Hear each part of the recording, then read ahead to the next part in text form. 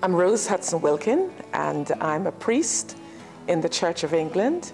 And as a priest, I serve as a vicar in Hackney, Holy Trinity Dalston, and All Saints in Haggerston.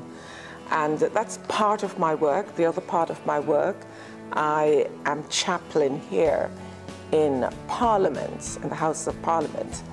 And my title is Chaplain to the Speaker of the House of Commons. It's a very historic post, and uh, it's been there for a long time.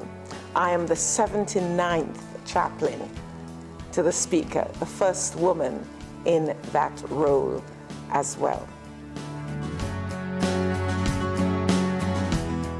The Speaker is the person who chairs all the meetings in Parliament. When the House of Commons meet, the Speaker is the one who calls people to speak, or if they are um, not behaving properly, he tells them to calm down, to be quiet, um, but he directs the program, as it were.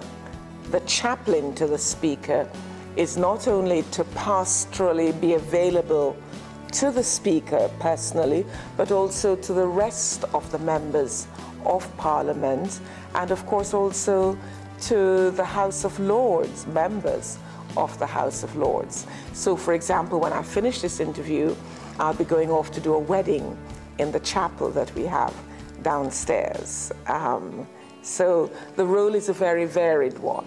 I'm not sure there is ever a day that I could say is a typical day. My days are very varied. Perhaps Sundays are the only typical days because I know for definite that I have a service, then a service, then visiting, etc. Um, but my days are varied. What is set in my days is prayer. Prayer is at the heart of what I do. So several times of day, my days are punctuated with prayer. Around those prayers are various duties.